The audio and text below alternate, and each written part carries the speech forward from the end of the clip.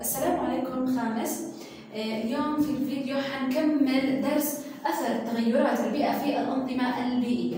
أخذنا في الفيديو السابق أن الأنظمة البيئية تتغير بسببان. تمام؟ إذا تتغير الأنظمة البيئية بسببان. السبب الأول هي التغيرات الطبيعية في البيئة وشرحنا عنها بالتفصيل في الفيديو السابق. السبب الثاني هو أثر الكائنات الحية في البيئة واللي راح نشرحه بالتفصيل في الفيديو اليوم. إذا تتغير الأنظمة البيئية يا خامس بسببان تتغير الأنظمة البيئية بسببان السبب الأول التغيرات الطبيعية في البيئة يعني التغيرات نتيجة موجودة في الطبيعة الإنسان له علاقة فيها. أما السبب الثاني أثر الكائنات الحية في البيئة.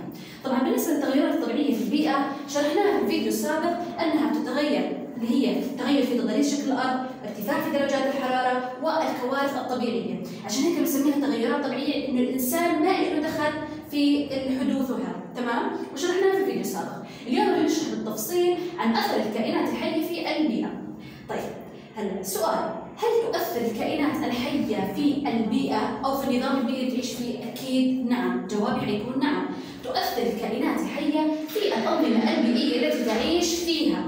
طيب كيف تؤثر الكائنات الحية في البيئة أو في النظام البيئي التي تعيش فيه؟ تؤثر الكائنات الحية. أول نقطة من خلال العلاقات بين الكائنات الحية مثل علاقة التنافس تمام؟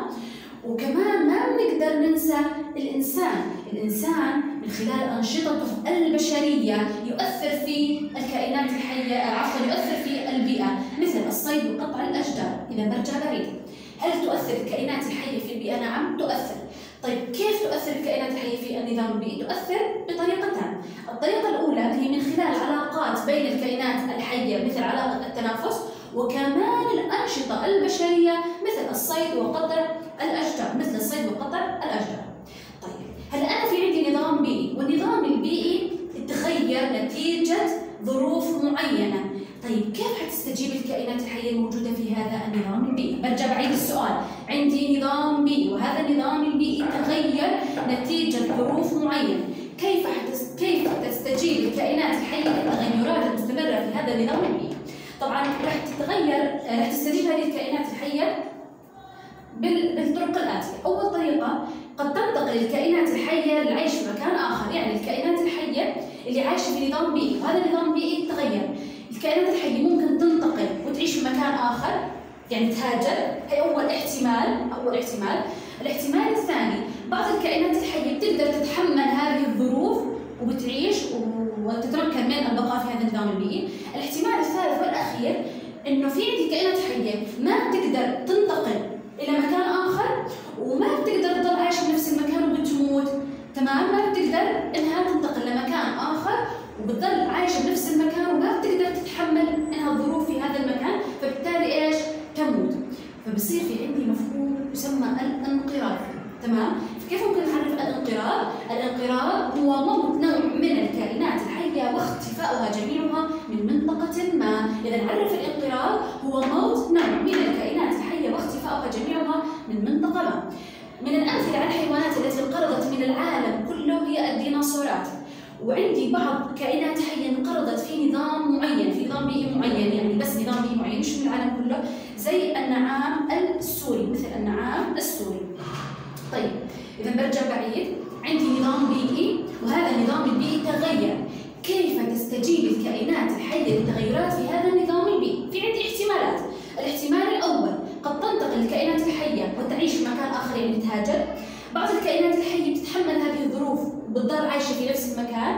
الاحتمال الثالث بعض الكائنات الحية ما بتقدر تهاجر وبتضل عايشة في نفس المكان بس ما بتقدر تتحمل الظروف فبالتالي تموت ويحدث الانقراض. حكينا الانقراض هو موت نوع من الكائنات الحية واختفاؤها جميعا. ومثال على الانقراض هي الديناصورات التي انقرضت من جميع أنحاء العالم. وعندي كمان إيش؟ النعام السوري هو من أمثلة على الكائنات الحية التي انقرضت في نظام بيئي معين. تمام؟ هلا في عندي في صفحة 19 يا خالد. صفحة 19 أتأمل الصورة هون. حلوا معي على الكتاب. وصنف العوامل المؤثرة في تنوع الكائنات الحية إلى كوارث طبيعية وعلاقات بين الكائنات الحية وأنشطة بشرية، يعني عندي هون ست صور، كل صورة بدك تكتب لي هل هي ناتجة عن كوارث طبيعية أو علاقات بين الكائنات الحية وأنشطة بشرية، طبعا الصورة الأولى عندي دخان مصانع، فهي ناتجة عن إيش؟ ناتجة عن أنشطة بشرية، إذا الصورة الأولى إيش نكتب؟ أنشطة بشرية.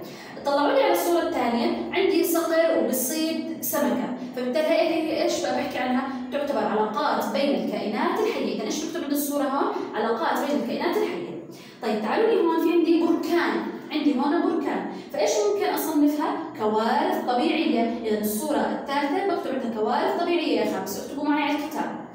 طلعوا لي هون في عندي انتشار جراد، هذا يعتبر إيش؟ يعتبر كوارث طبيعية، إذا انتشار الجراد يعتبر كوارث طبيعية. هلا شوفوا لي هون في عندي شخص عم بيصيد، فبالتالي إيش بعتبرها هون؟